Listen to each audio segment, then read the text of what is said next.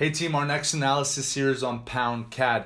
What I want you to pay attention to is how price action becomes the deciding factor to know whether or not price is ready for its continuational push or continuational exhaustion. So when you watch the analysis, you're going to hear me talk about the push and exhaustion cycle. Now, we needed, and you'll understand what I'm saying in a minute, we needed a bearish engulfing candle close to confirm that price has the sell sensitivity it needs to break to the downside. And because we did not see that bearish engulfing candle close, we know that price is going to continue to respect that squeeze. So you'll understand what I mean in a moment.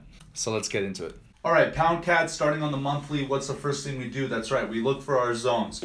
So we see horizontal sell pressure, horizontal sell pressure, sell pressure turning into buy pressure, we identify our monthly zones.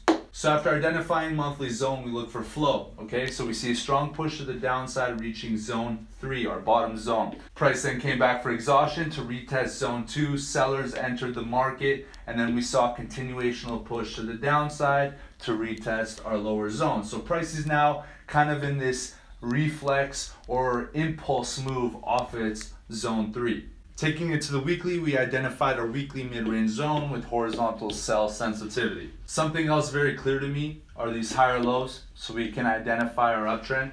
Push, exhaustion, what's next? That's right, likely at some point a continuational push to the downside. Now, I do not see a bearish engulfing candle close here. This is not a bearish engulfing candle close, telling me that price may still be following the squeeze before the break to the downside. So let's take it down a time frame. Now what I see is just that.